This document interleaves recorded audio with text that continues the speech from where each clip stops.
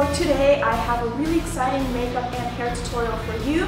I've been closely following New York Fashion Week and the beauty and fashion trends that it's been bringing for the next spring season and why not implement it into the fall season right now. It's super fun. I particularly enjoyed the DVF show. I thought it was really fun how they had the models just do a very wearable look with bombshell, tousled waves and curls, and also a very basic smoky eye. I'm going to be using some of my favorite L'Oreal Paris products as well as some of my other products that I really love and implement in my everyday routine.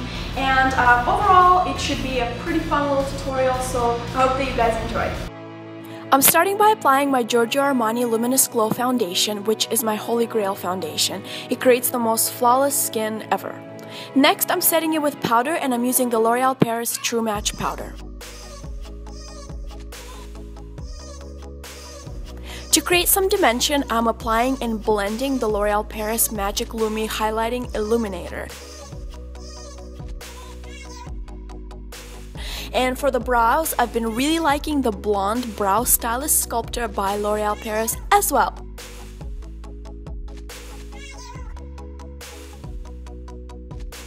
For the eyeshadows, I'm using one of my favorites, which is the Stila Not So Nude palette.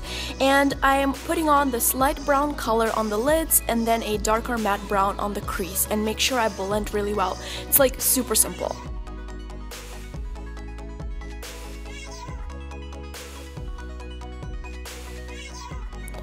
I'm going to skip the eyeliner and just go straight to the lashes and these ones are by Kiss and they're amazing and they look super natural.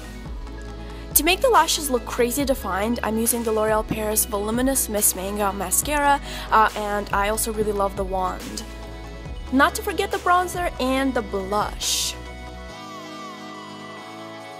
For the lips, I chose to line them with this uh, Laura Mercier uh, lip liner and fill them in with a matte NYX lipstick to kind of stick to the matte theme. And that's it for the makeup. For the hair, I'm applying a bit of the L'Oreal Paris Advanced Hair Care Extraordinary Oil to soften it up and add some shine.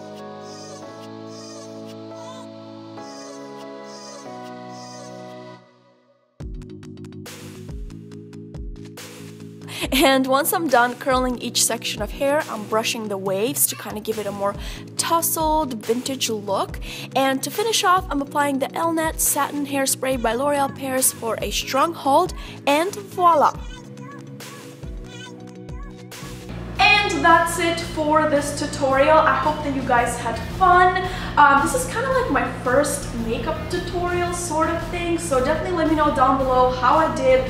I tried. Let me know what other looks you would like me to recreate from the runway or celebrities or anything like that. Um, yeah, because a lot of you requested that I started doing makeup tutorials, so I was like, alright, let's, let's just do it. Also, don't forget to check out the Destination Beauty channel here on YouTube. It's a really fun L'Oreal Paris collaboration that me and a bunch of my friends did uh, back in New York and here in LA, so definitely uh, check it out, link is down below. Give this video a like, and I love you, my lovely unicorns. As always, I will see you in my next video.